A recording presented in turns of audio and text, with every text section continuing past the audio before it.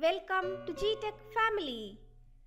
Let's learn the shortcut method for performing Vedic division with the digit 9.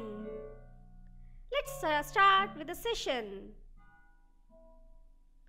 So now we have to perform a division with 43 and 9. So what is the shortcut method for doing this? Let's have a look on this. So take the first digit that is 43.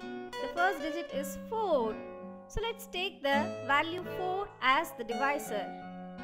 And for the remainder, we need to add the digits 4 and 3. That is 4 plus 3 equals 7.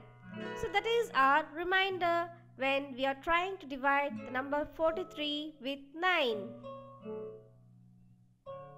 Let's have a look into another example. 23 divided by 9. The first digit 2 will be our divisor and 2 plus 3 equals 5 which is our remainder. Thank you.